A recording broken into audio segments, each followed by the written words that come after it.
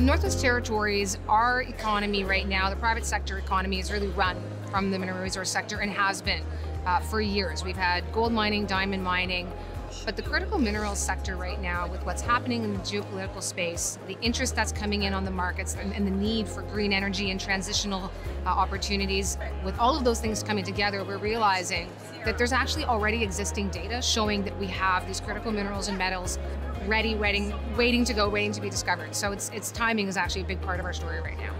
We're in a transition to new technologies, including e-mobility or electric mobility.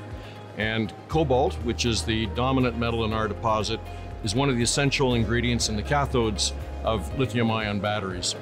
We've been working in the Northwest Territories now for about 30 years. We have a very exciting development project, which is uh, cobalt, gold, bismuth, and copper.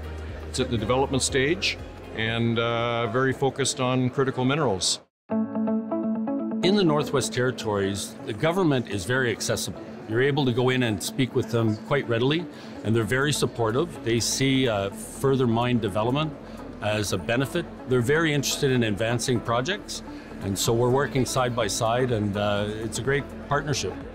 The tremendous interest in lithium that's happening all around Yellowknife right now uh, they haven't held back the fact that there's the first rare earth element mine operating in the Northwest Territories with Nechalacho right now. You can't really talk about the Northwest Territories without talking about geological endowment. With diverse geology, with different kinds of, uh, of terrains that can host virtually any mineral. By bringing the three territories together, it enables us to market to a larger audience as a combined front in the Northwest Territories, we've been doing things differently for a long time and not realizing the importance and the value and the uniqueness of it.